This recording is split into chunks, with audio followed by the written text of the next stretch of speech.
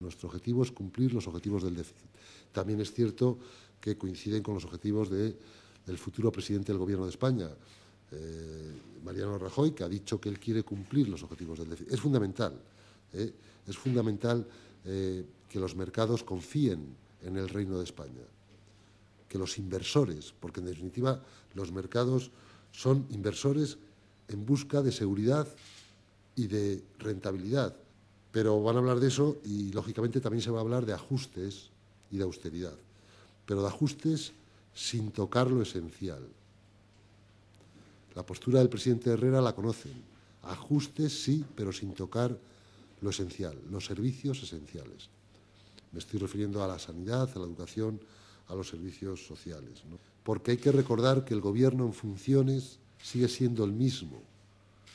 Sigue siendo el mismo y seguimos teniendo cero información sobre las previsiones de crecimiento económico para el 2012, porque la ministra en funciones del Gobierno socialista ha dicho que no va a modificar esas previsiones de junio.